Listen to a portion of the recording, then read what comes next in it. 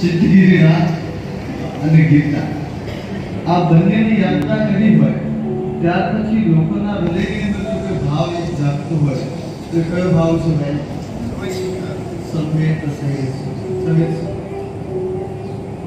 આપણે ગુજરાતની અંદર રહેતા હોઈએ ખાલી પાંચ દસ પંદર વીસ પચીસ વર્ષ પાછળ જાઓ પચાસ વર્ષ પાછળ જાઓ કે ગિરિરાજની યાત્રા કદાચ આપણા માટે સુલભ હતી પણ શિખરજીની ભાવના એ કદાચ એક સ્વપ્ન હતું અને એવા શિખરજી તીર્થ કે જ્યાં આ ચોવીસીના કેટલા એક નહીં બે નહીં કેટલા તો કે વીસ વીસ પરમાત્મા જ્યાંથી નિર્વાણ પદને પામેલા છે એક વખત કોઈ શ્રાવકને વિચાર આવ્યો કે શિખરજીની કઈ ભૂમિની અંદરથી કયા ભગવાન નિર્વાણ પામ્યા હશે તો કોને પૂછ્યું એમણે શાસ્ત્રીજીની આરાધના કરી શાસનજી પ્રત્યક્ષ થયા અને કીધું કે જ્યાં જ્યાં પણ તમે આવતીકાલ સવારે જાઓ અને જ્યાં કુમકુમના સ્વસ્તિક દેખાય ત્યાંથી સમજવું કે પ્રભુ તે સ્થાન ઉપરથી નિર્વાણને પ્રાપ્ત થયેલા છે અને આપણે દરેક વ્યક્તિની અંતિમ ભાવના શું હોય છે ભાઈ આ સંસારમાં કેટલું પણ પ્રાપ્ત થાય છતાં આપણે બધું શું કરવાનું છે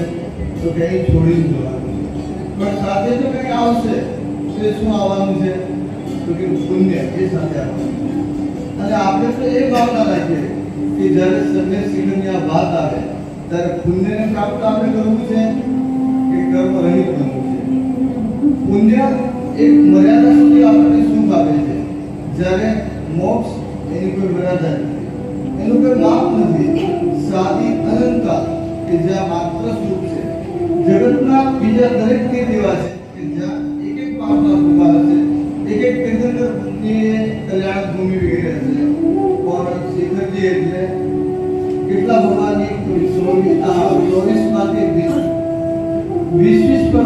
એ નિર્વાણ છે અને નિર્વાણ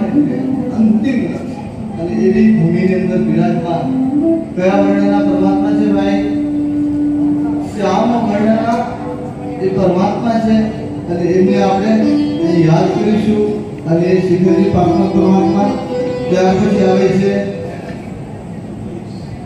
જી કે જગતની અંદર કહેવાય છે કે ચમત્કાર. જ્યાં ચમત્કાર હોય, ત્યાં લોકોના મસ્તક સહજ ઝૂકી જતા હોય છે. પણ આપણે તો ચમત્કાર પરમાત્મા તો નિરંજન છે. પરમાત્મા નિરાકાર છે. પરમાત્મા મોક્ષની અંદર છે. પ્રભુ ત્યાંથી ચમત્કાર ભાઈ તો કે પ્રભુ ભલે ના થાય, પણ પ્રભુના જે ભક્ત છે. એ ભક્ત પણ ભક્ત દેવો, એ આ મનુષ્ય લોકના જે માનવો છે, એના મનની અંદર એક શ્રદ્ધાને ઉત્પન્ન કરતા હોય છે. અને એવા ચમત્કારિક દાદા એટલે કોણ છે ભાઈ? અંતરિક્ષ પાપનાથ ભગવાન, જે અત્યારે ક્યાં બિરાજમાન છે? શિરપુરની અંદર. અને ત્યારબાદ જેને જૈનો પણ પૂજે છે, અને જૈનેતરો પણ જેને પૂજે છે, જેને આપણે સાંભળતા માંગીએ છીએ, અને એક અજીન વર્ગ છે, કે જેમની કેસરીયા વર્ણના માંગે છે.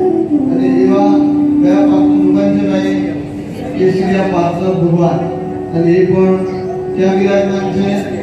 તો કે ભાંડુપજી એટલે કે કેસરિયા જે નગરની અંદર બિરાજમાન છે. અને મોજગીરીની અંદર બિરાજમાન કોણ છે? તો કે જગવલ્લભ પાર્શ્વનાથ પરમાત્મા. નામ જ શું છે? જગવલ્લભ. જગ એટલે કે આ વિશ્વ, આ લોક.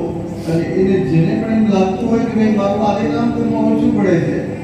જેને એમ લાગતું હોય કે હું સાચી વાત પણ કહું છું પણ લોકોના મગજ સુધી નથી ઉતરતી તો એમણે આ જગવલ્લભ પાટલા દાદાની ભક્તિ કરી તો એવા જગવલ્લભ પાટલા પરમાત્મા તો સૌથી પહેલા ચંદ્રશેખરની અંદર બિરાજમાન સાડા પાટલા દાદા શિરપુરની અંદર બિરાજમાન અંકિત પાટલા દાદા કુંભોડ ગીરીની અંદર બિરાજમાન કેસરિયા પાટલા દાદા અને કુંભોડ ગીરીની અંદર બિરાજમાન જગવલ્લભ પાટલા દાદા આ ચાર પરમાત્માને આપણે મનની અંદર ધારણ કરીએ અને આ ચારે પરમાત્મા આપણી એક એક ગતિને દૂર કરનારા થાય એ ભાવના સાથે આપણે ખૂબ જ પરમાત્માની ભક્તિ ખૂબ અદ્ભુત જબરદસ્ત ભાવના